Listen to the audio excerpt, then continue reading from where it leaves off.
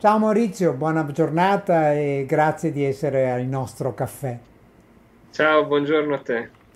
Allora, eh, stamani mattina vorrei parlare di un argomento credo molto importante, che è il tema eh, del rapporto che c'è tra mh, la terza età,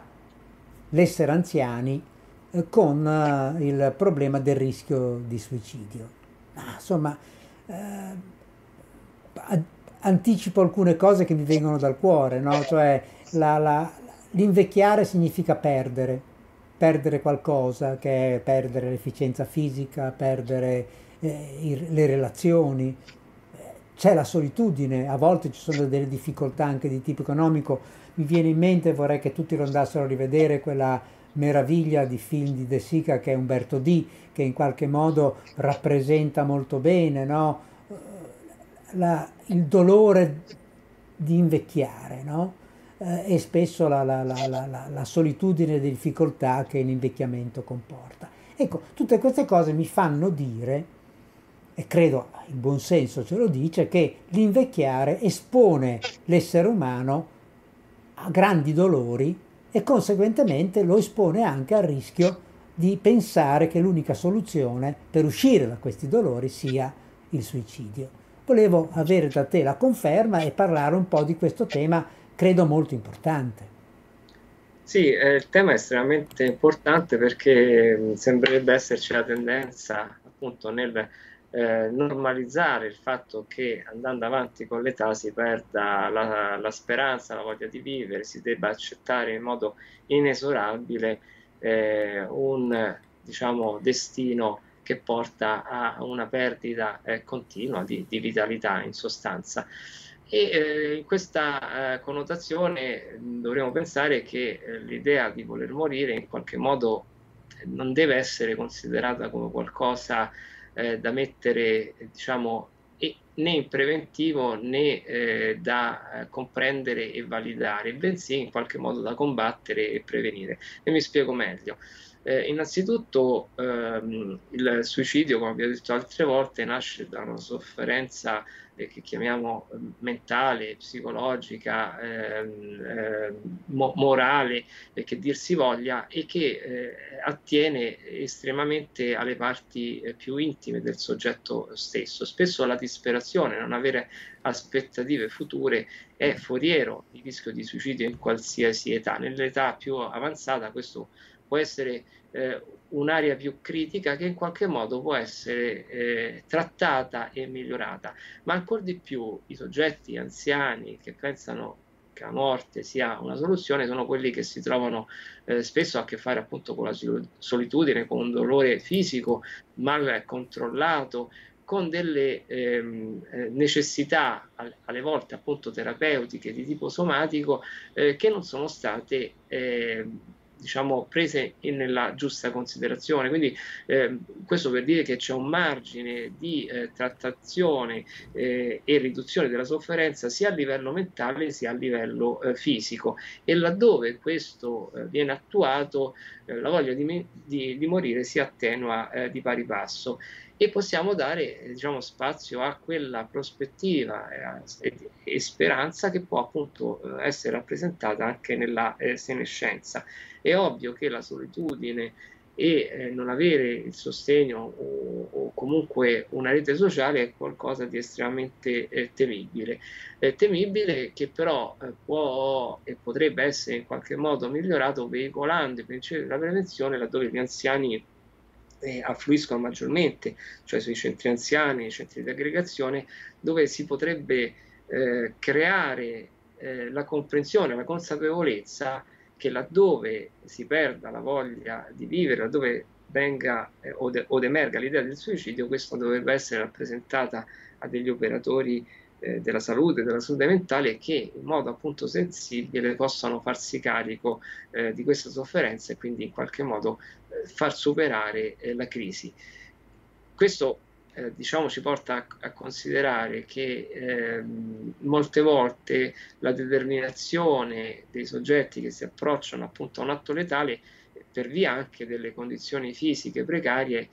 troppo spesso porta a degli esiti che lasciano poco spazio alle, alle possibilità di, di, soccorso e quindi eh, dovremmo agire in maniera molto propositiva proprio per evitare qualsiasi approccio all'atto letale che possa mettere a repentaglio l'incolumità della persona.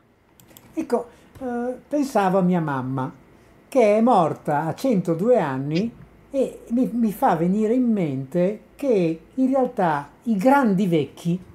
i grandi vecchi, cioè quelli che superano ampiamente i 90 anni di età, oltre che avere probabilmente dentro di sé una voglia di vivere, però raramente mostrano, come dire, una eh, suicidofilofilia. Ecco, la domanda che io ti faccio è quali sono nel concetto di anziano che adesso si è spostato oltre i 70 anni, ma comunque nelle persone di una certa età, quali sono le età più a rischio? Perché mi sembra, ho fatto l'esempio di mia mamma per capirci, mi sembra che oltre una certa età il rischio diminuisca non so come dire, però esiste evidentemente una, fra, una fascia dove il rischio è più elevato. Questo lo dico anche perché l'attenzione da parte dei caregiver o da parte di chi si occupa, eh, diciamo dal punto di vista anche clinico di un, di un anziano, ehm, credo che sia importante capire quali sono queste fasce d'età più pericolose. Ma in sostanza mh, ci possono essere due grandi fasce di età, eh, non necessariamente l'una più protettiva o più a rischio dell'altra. Con il professor Amore facciamo degli studi sugli anziani, suicidi negli anziani e negli ultra anziani, proprio quelli che andavano a, a, a collocarsi in un'età estremamente avanzata. E in realtà quello che possiamo vedere è che eh, laddove ci sono degli elementi anche personologici importanti, questi non hanno, non hanno età, cioè non, hanno, non, non vengono diciamo, attenui- attenuati dall'età stessa, bensì sono rappresentativi eh, in qualsiasi appunto frangente della vita. Per cui diciamo esiste un po' un continuum tra quelle che sono le variabili che espongono a maggior rischio di suicidio diciamo, gli anziani e gli ultra anziani, dove l'elemento di fragilità, solitudine, mh, mancanza di eh, sostegno anche nell'ambito di patologie somatiche, eh, mancanza di terapie adeguate anche in ambito di salute mentale è qualcosa che va connotando un po' tutte le, le età anziane stesse, ehm, soprattutto eh, perché eh, si ha difficoltà ad accedere alle cure mediche alcune volte, perché la persona essendo sola non viene condotta, non viene sostenuta, non prende l'iniziativa e magari si trascina nel quotidiano con delle sofferenze eh, stesse. Quindi quello che giova dire è che bisognerebbe rafforzare quanto più possibile le reti sociali e le comunità eh, dove mh, bisognerebbe co- eh, coltivare e costruire una cultura e della solidarietà e dell'attenzione per coloro che potrebbero avere bisogno, ad esempio vivendo solo nell'ambito di un palazzo, di un condominio, di un centro abitato, essere diciamo consapevoli, questo userei questo termine, eh, dei possibili bisogni anche non espressi, ma che invece sono eh, diciamo pregnanti per la persona stessa. In questo modo si potrebbe fare una prevenzione eh, molto puntuale e propositiva eh, che alle volte appunto costerebbe anche poco. Ecco Maurizio, mm, però mi viene da dire che la solidarietà non è una cifra stilistica dei nostri tempi. E quindi quello che tu dici, cioè il vicino di casa che, che, che, che, va a bussare all'anziano, gli chiede Giovanni o Maria come stai, no? Ecco, mi sembra che sia un qualcosa che succedeva di più in passato e che rischia di succedere sempre di meno oggi. Ecco, io mi domando che cosa possiamo fare? No, voglio dire, cioè a fronte del fatto che la rete sociale eh, può essere diventare una pia illusione, nel senso che è un, un qualcosa che servirebbe ma non c'è. E, e conseguentemente mi stavo domandando se in un paese come l'Italia, dove la, la percentuale degli anziani è sempre più alta, eh, dove per esempio in Liguria, dove abito io, siamo la regione col più alto tasso di anziani, il 27,2% della popolazione è grandi anziani. Voglio dire, di fronte a questo qualcosa bisognerà fare. in senso lato, perché il suicidio è una delle, come dire, delle rappresentazioni e della fenomenologia del, dell'invecchiamento. Non è certamente la principale, però la solitudine sì, la mancanza di reti sociali sì, quello sì, posso dire che è un problema diffuso, che poi per fortuna non tutti gli anziani sfocino in un tentato suicidio o in un suicidio riuscito, però resta il problema di base. Cosa si può fare sinceramente? Allora, innanzitutto um, vale la pena ecco, ricordare proprio per eh, rendere um, il tema del suicidio nell'ambito della prevenzione del suicidio, perché noi ci battiamo proprio per questo tipo di, eh, di attività, che le persone che pensano al suicidio in realtà vorrebbero vivere, non vorrebbero morire, vorrebbero vivere senza la sofferenza che si portano dietro e quindi attenuando quella sofferenza la persona sceglie di vivere. Questo abbiamo detto si può fare eh, in vari modi, si possono fare varie manovre. Eh, una cultura dove la solidarietà, l'attenzione eh, per l'altro è in qualche modo carente dovrebbe risentire di una prevenzione primaria tendente a sensibilizzare tutti, a, a scuotere un po' gli animi. Uno studio eh, molto emblematico che venne fatto ormai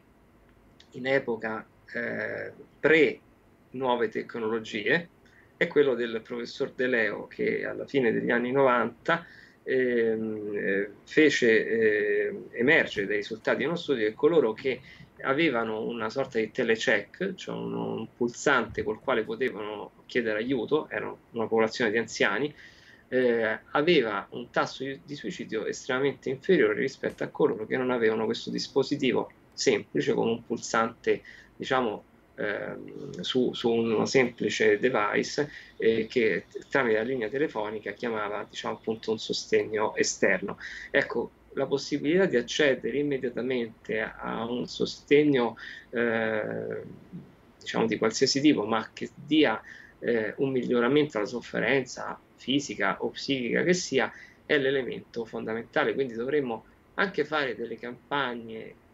di sensibilizzazione per gli anziani, sugli anziani, cioè di dire eh, se dovessi avere un bisogno, un, un, pensiero, un desiderio di questo genere, guarda, chiama questo numero, guarda, rivolgiti a questo presidio, guarda, eh, il suicidio si può eh, prevenire, si, la sua sofferenza si può diminuire. Questa campagna di sensibilizzazione, che appunto può essere fatta anzi- con gli anziani, ma anche con i giovani, con altre eh, sottopopolazioni, è fondamentale proprio per informare e dare l'opzione del chiedere aiuto che altrimenti la persona potrebbe non, saper, non, non conoscerla oppure non averla a portata di mano. L'altra cosa sono i medici di base, che sono quelli che spesso vengono a contatto con la popolazione anziana e che eh, non riescono a decodificare, ad esempio, il rischio di, di, suicidio perché la persona presenta problematiche do, di dolenzie, eh, di, di mh, problemi non eh, diciamo, riconducibili immediatamente a una sofferenza eh, mentale. Ebbene, bisognerebbe in qualche modo creare una sinergia ancora migliore con la medicina di base. Sì, sono d'accordo. Il tema dei medici di base è come dire, trasversale alle età perché in realtà è un tema che riguarda gli esordi delle malattie mentali e, e, per esempio e nel caso dell'anziano il monitoraggio di quello che sta dietro a, a, all'invecchiamento fisiologico e quindi cogliere il rischio che certe situazioni non vengano, non, non, non vengano so, eh, sopportate se non supportandole e credo che effettivamente questo riferimento ai medici di medicina generale, ai medici di famiglia, eh, sia estremamente importante perché io continuo, più parlo con voi no, in, questi, in questi incontri, più mi rendo conto che è centrale la figura del medico di base, del medico di famiglia, del medico di medicina generale, perché veramente senza il, dire, la sua capacità di cogliere le situazioni, spesso lo specialista, lo, il super specialista può fare ben poco. E questo credo che, che vada detto e molto probabilmente occorrerebbe trovare un modo di formare i medici di medicina generale proprio in questo senso, non trovi Maurizio? Assolutamente sì, questo vale per tutte le età, per la sofferenza mentale unita a quella fisica, per il suicidio e per altre condizioni di rilievo. Eh, nella letteratura spicca il dato che il 45% di coloro che muoiono per suicidio è andato dal medico di base nel mese precedente l'atto letale. Alcuni altri lavori parlano di un intervallo ancora più breve, eh, per cui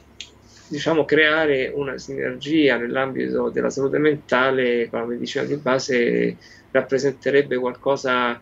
di estremamente a favore della prevenzione del suicidio, eh, lottando anche con le difficoltà che spesso vengono annoverate dell'eccessiva affluenza, del eh, ridotto eh, slot di tempo per ciascun paziente, eccetera, ma alcuni elementi salienti dovrebbero essere veicolati eh, a tutti e, e, e magari anche il poco può rendere il molto. Su questo sono totalmente d'accordo. Eh, credo che dovremo parlarne mol- molto come psichiatri di questa eh, collaborazione per dare l'importanza che hanno, non per, come dire, eh, demandare un compito che dovrebbe essere nostro, perché è sbagliato dire così. In realtà il compito del medico di base è di cogliere, non è di curare. Eh, perché poi ci può essere lo specialista che cura, cioè il professor Pompili, eh, Pompili è disponibile, però, però, deve essere avvertito, se no non lo può mica sapere, cioè, non, non, questo lo dico per chi ci ascolta, cioè, noi non stiamo dicendo che deve fare tutto il medico di casa, però il compito di accorgersi delle cose è più del medico di casa che del professor Pompili, che, che magari il paziente non lo conosce. Certo, certo, assolutamente. assolutamente. Dai, alla prossima Maurizio, grazie. Grazie.